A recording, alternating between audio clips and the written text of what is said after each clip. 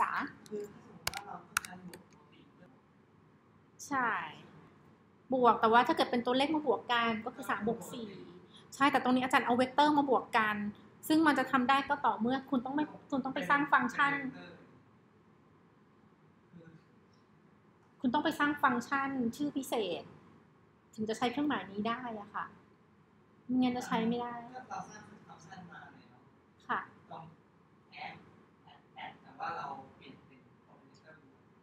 แล้วแล้วเมื่อเราเอาใช่เมื่อเราเอาอเปอเรเตอร์บวกมาใช้ที่เป็น type vector มันก็จะกลายเป็นอย่างนี้ตลอดเนื่องจากเราเขียนโค้ดแบบนี้เอาไว้ถ้าเกิดสมมติเราทำแบบนี้ เราให้มันคืนค่าเป็นอย่างอื่นเป็นศูนย์ศูนย์นะคะสมมติว่าคุณคุณไม่ได้บวกจริง ๆ บวกคุณไม่ได้บวกกันจริง ๆ แต่ว่าตรงเนี้ยคุณจะให้มันเป็นแบบศูนย์ศูนย์นะคะ ก็คืออะเป็น point ตะกี้แต่ว่าเป็น point แบบศูนย์ศูนย์น่ะ ก็คือคุณไม่ได้ให้มันมาบวกจริงเป็น point ว่างๆขึ้นมาแบบนี้ค่ะ เพราะฉะนั้นตรงนี้ก็คือหลังจากบวกแล้ว คุณบังคับให้มันเท่ากับศูนย์คราวนี้เดี๋ยวอาจารย์จะลองคอมไพล์อีกรอบนึงนะผลกำลังศูนย์ศูนย์คุณเขียนโค้ดยังไง มันก็มาอย่างนั้นเลย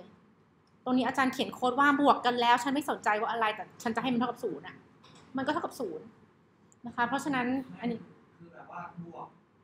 บวก นที่เราเอาไปใส่ในโค้ดต่างๆ คือมันจะใช้งานเป็นฟังก์ชันนี้ก็ต่อเมื่ออะไร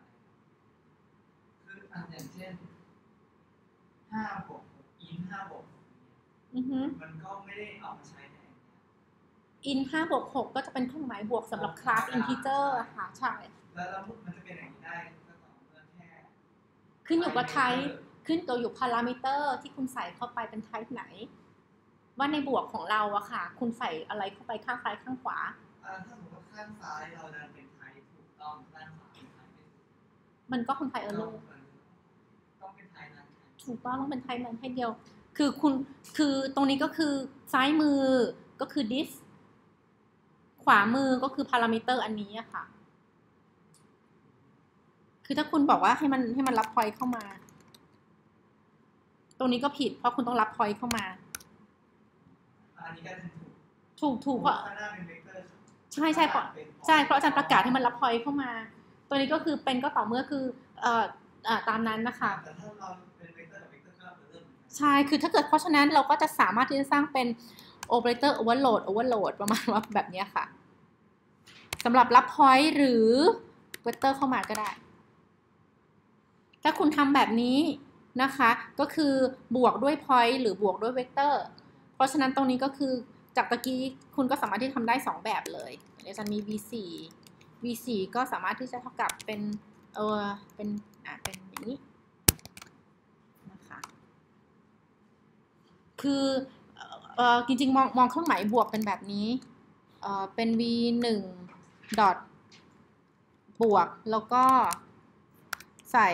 p ใส่ใส่ p สองเข้ามาค่ะ มองมองมันเป็นแบบนี้ค่ะ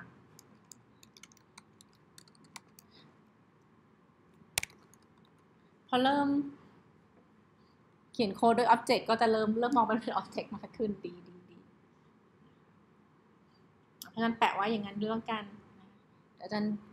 เวกเตอร์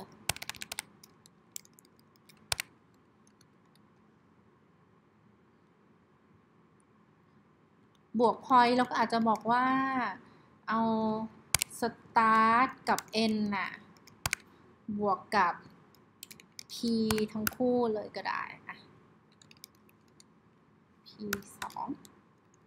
อะตัวนี้ก็คืออาจารย์ก็เขียนโค้ดให้มันทำได้ โดยการถ้ารับเป็น point เข้ามา